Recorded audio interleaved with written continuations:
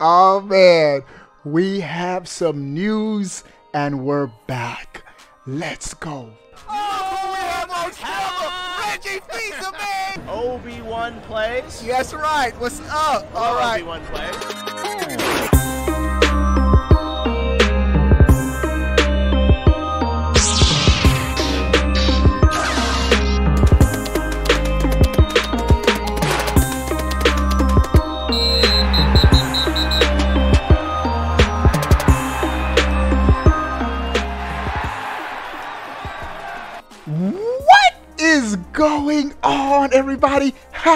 Are y'all doing? First, we're back on camera. There was so much dope news today. I wanted to come back on camera and just give the people what they want. I know y'all missed me, but before we get started with all of the epic news today, give the video a huge thumbs up, like, like, like.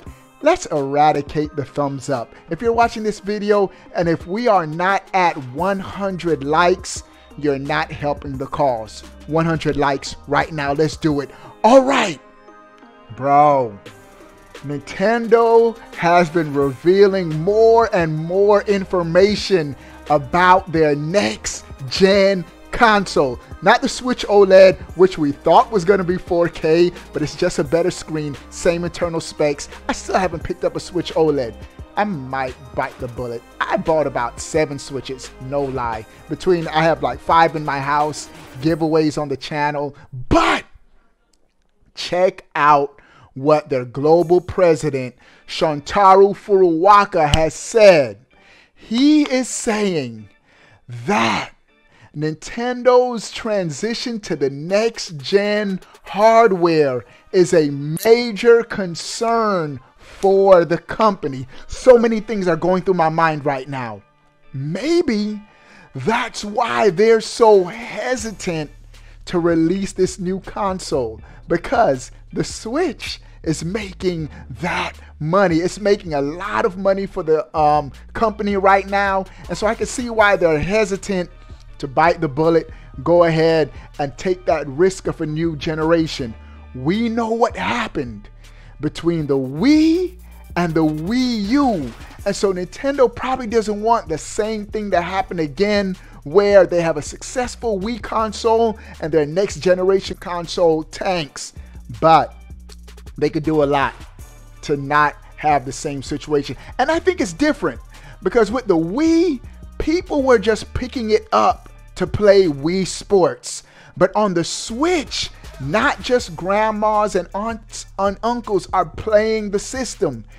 Software is selling, smashing all kind of records, and so I really think Nintendo needs to launch a more powerful Switch next year, 2023, while the momentum is still going. Because one of the things that happened with the Wii between the Wii and the Wii U the Wii momentum feigned. Like it, it went down and then they tried to rekindle it with the Wii U, but by that time it was too late. I think go and get it while the getting is hot. Now, so many things that comes to my mind. They also said that they don't want to risk risk losing the user base they said that they don't want to risk losing the user base going from one generation to the next. And I'm telling y'all, and I hate to beat a dead horse, and I am going to bring up my dead horse gift achievements. Achievements. What are you talking about, OBE1? What does achievements have to do, anything to do with going from one console generation to the next? Let me explain. There are Xbox fans and PlayStation fans that bought the PlayStation 5 from a PlayStation 4 or an Xbox Series X from an Xbox One simply because they accumulated achievements, trophies, and they're saying, you know what? This is the platform that my um, gaming ecosystem is tied to.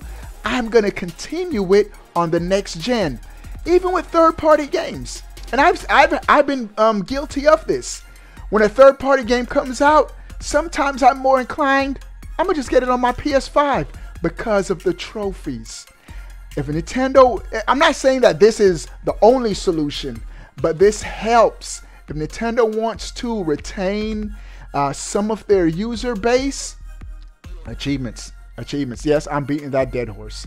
But it's interesting, interesting how Nintendo's global president has mentioned that they do have some concerns, red flags of going from one generation to the next. Speaking of achievements, Nintendo has spoken up more on their online Nintendo Switch online.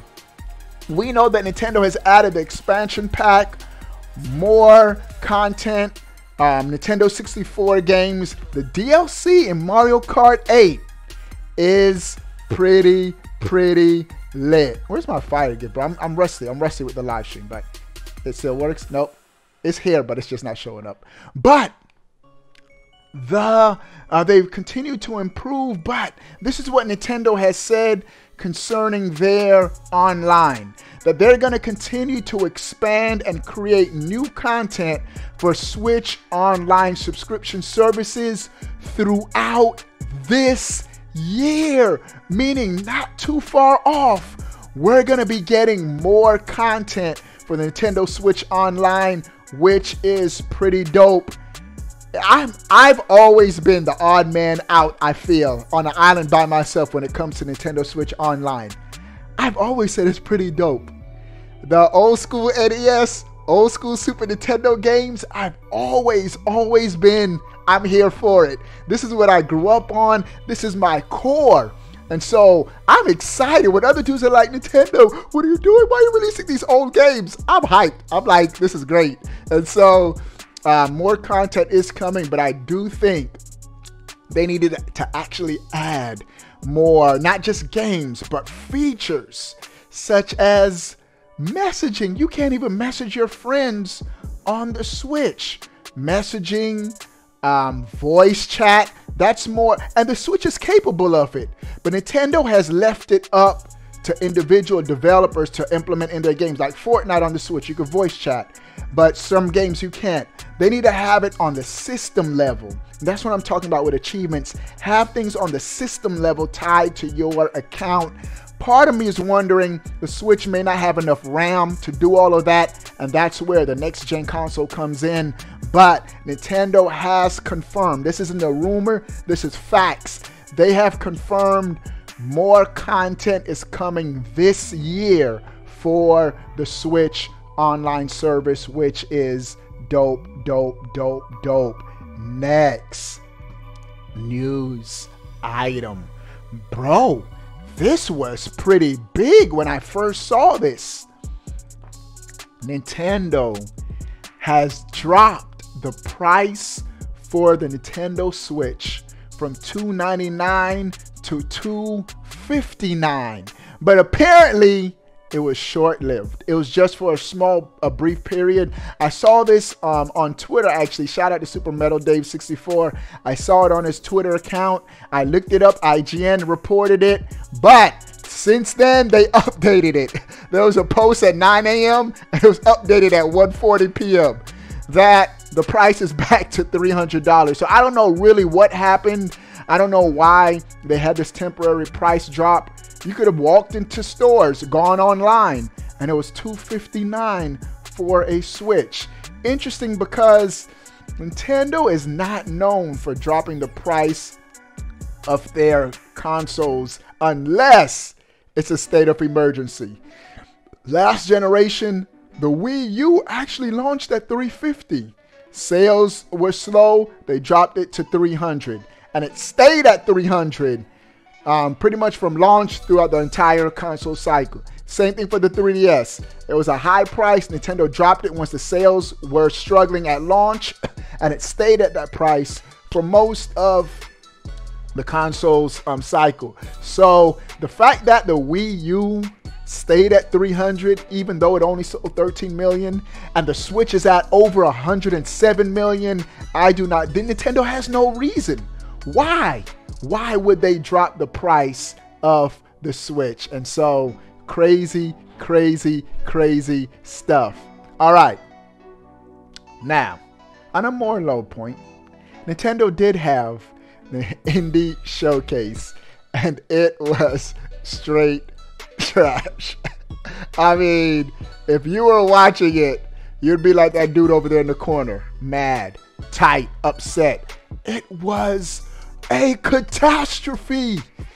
There was not one game that I was excited for. Usually they have one or two surprises, something that's dope, but it was straight garbage.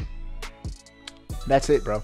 Those are all the news items for today's video. What do you guys think about everything, everything we talked about? Sound off in the comment section below. I want to know. But before you go, bro, click that subscribe button. Stay up to date. All things Nintendo. We are out. Peace.